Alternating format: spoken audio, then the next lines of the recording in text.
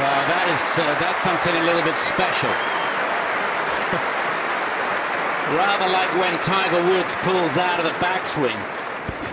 When a camera goes off, it was almost as though he made a very last minute decision to play this. Yeah, let's, let's hope.